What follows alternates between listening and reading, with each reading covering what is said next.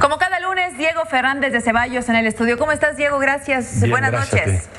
Te agradezco mucho, eh, Diego, eh, que podamos platicar sobre los señalamientos que se han hecho desde la semana anterior por parte del alcalde de Colón en Querétaro, en donde dice que debes una cantidad aproximada de 946 millones de pesos en impuesto predial, Diego. Mira, en primer lugar te diré que después de las dos noticias que anteceden, me parece sospechoso que siga yo. ¡Ay, no! Ya lo sé que no. No, no, no, de ninguna Te manera. lo digo de broma, pero en primer Tú lugar, 10.25. en primer lugar, quiero decirte que reconozco, respeto y valoro el periodismo de Milenio y el tuyo propio. Y no me podría yo imaginar que una noticia tan escandalosa no se difundiera o se tratara de ocultar porque se imputa a un colaborador de Milenio. Al revés, creo que esa circunstancia te obliga a ti y obliga a Milenio a no dejarla pasar en lo oscuro. Así es, y, y déjame hacer un paréntesis, ya habíamos platicado tú y yo desde el viernes en una entrevista telefónica. Hoy te dije, hay que volverlo a tratar en Por tu espacio y me dijiste, por supuesto, de manera transparente, nada de chu, chu, chu. Por supuesto. ¿No? Ahora bien, como te dije en la entrevista telefónica, yo no acostumbro a litigar mis asuntos a través de los medios de comunicación, porque sería una falta de respeto para mí, para mi condición de abogado, de tratar mis asuntos o lo de mis clientes a través de los medios de comunicación. ¿Qué cosa es lo que yo he hecho al respecto? Primero, inmediatamente buscar a las autoridades competentes de Colón para decirles, aquí estoy, para que se precise quién debe, cuánto debe y que pague. Punto.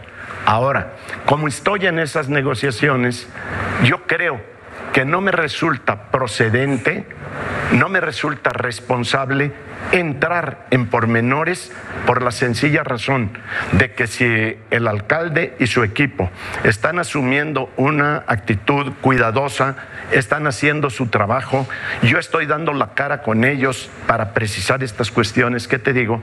Yo te pido que me permitas que en los próximos días te respondo todas las preguntas, nada de chuchuchu ni cosas de esas.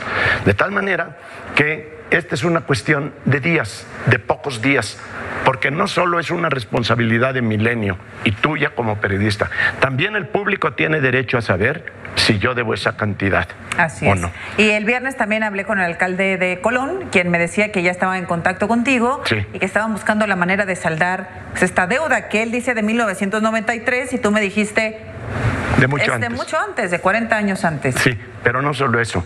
Déjame decirte que quede muy claro. No estoy tratando de llegar a un arreglo extralegal. Sencillamente que con los datos objetivos que tiene ese expediente, que con esos datos objetivos se determine lo que proceda conforme a la ley. A partir de ahí, que se dé a conocer por parte de él y por parte mía si terminamos en una negociación o vamos a un litigio.